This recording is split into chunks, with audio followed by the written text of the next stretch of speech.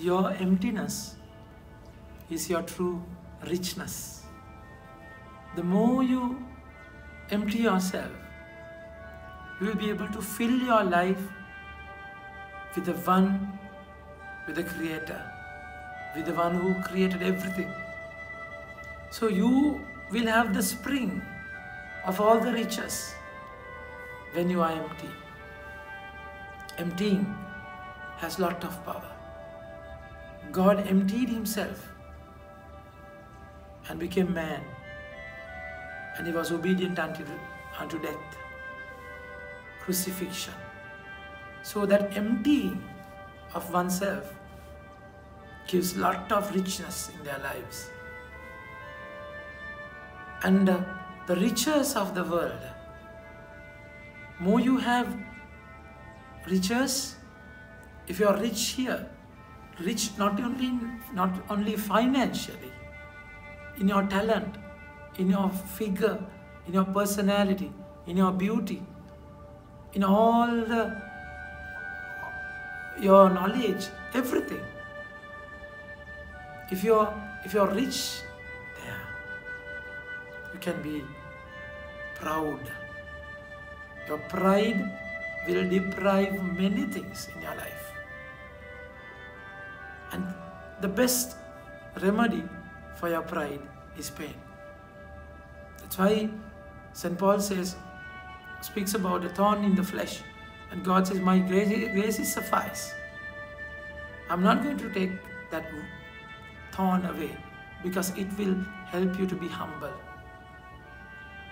The proud and the rich, the first reading beautifully says, how he punishes them with death, famine, and sicknesses and make them humble. Today, the, the rich young man couldn't follow Jesus because he was too rich. And Jesus says, Truly I say to you, it will be hard for one who is rich to enter the kingdom of heaven.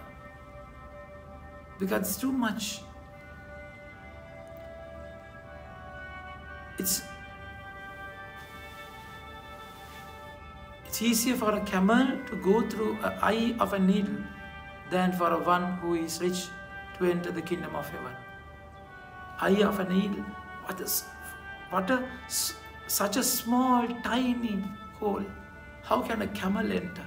It's impossible, my dear, my dear friends. You can never do that.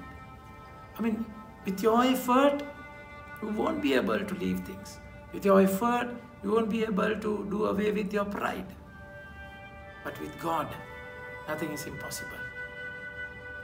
So, when you are humble, you can't even accept that you are humble. The moment you say that you are humble, there is pride in that humility.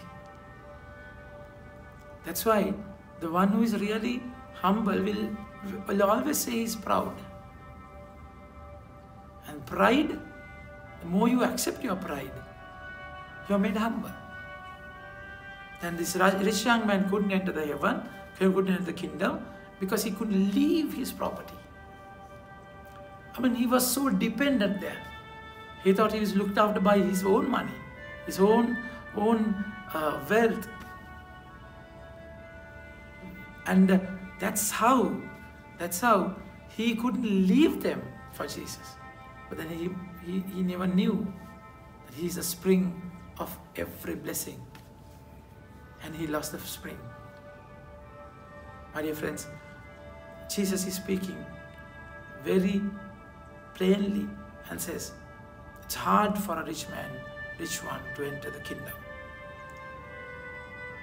Then Peter spoke and said, You see, we have given up everything to follow you. What then will there be for us? God is saying, You will have many, you will have plenty. The more you live, more you surrender, more you will be rich, you will be blessed with many things.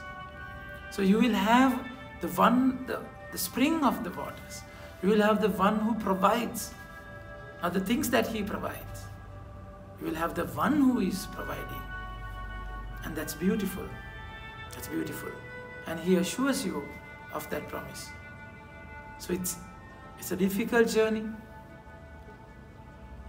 It's hard to let, let go, yet believe He will help you to do so. And once you are done, once you are free, your friends, once you are, you are free, then you can free others also. And that's a kind of life that you are invited.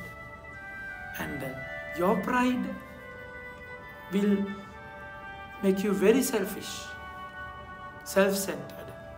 When you let go, you'll be you'll be loving everyone because you are selfless.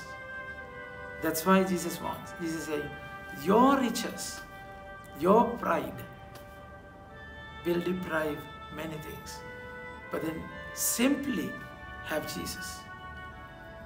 Leaving everything aside.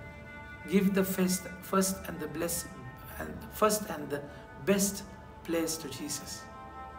And the rest will follow automatically.